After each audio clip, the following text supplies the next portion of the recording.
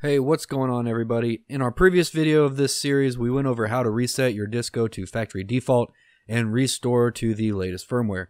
Today I will be loading ArduPlane software onto my Parrot Disco using two common tools, WinSCP and PuTTY. There are three main steps we will walk through. Connect to the Disco Wi-Fi access point, which is on the subnet of 192.168.42.1. Connecting to the Disco via FTP, and connecting the Disco to a file transfer program like WinSCP. If you aren't familiar with ArduPlane software or APM, then I suggest doing some due diligence to decide whether this is something you want to do. I will be using a Windows machine to do all the work, but you can use a Mac computer as well using the same techniques. First thing to note, this is not my program or scripts. I downloaded them off the ArduPlane website in the Parrot Disco forum section. That link will be posted below.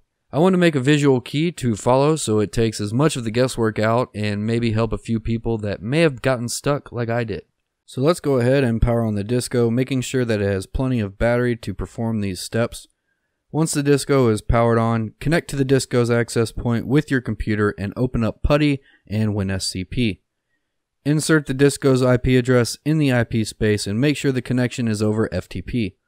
Once this is complete, you should be connected to the Disco in both file transfer abilities as well as a shell prompt. I insert the mount command to make the directories and subdirectories writable so that I can view some of the text in the shell scripts and that I have the ability to edit them if need be. Once we have everything connected, let's transfer our files that we downloaded from ArduPilot's website. Links in the description if you would like to grab them. We will just transfer two of the four files the website recommends. We will cover why later on in the video. Next is to transfer the ArduPilot and start underscore arduplane.sh over to the arduplane directory under internal underscore 000. This is made easy using WinSCP because it opens into data slash FTP. So we just enter internal underscore 000 and arduplane, then upload our files, making sure we upload them as binary files.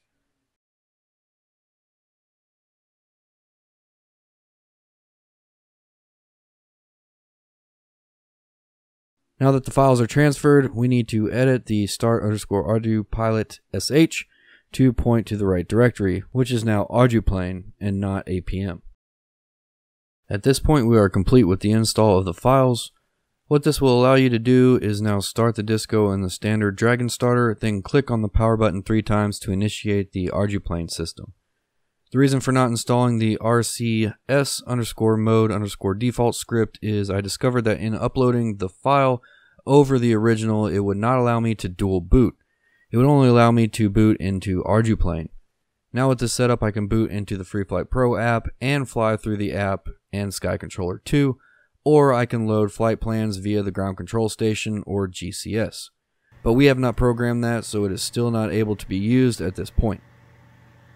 That will be for an upcoming video. I hope you found this video helpful. If you have any questions, leave them in the comments below. And if you haven't subscribed already, please consider doing so. Thanks for watching this video, and we'll see you next time.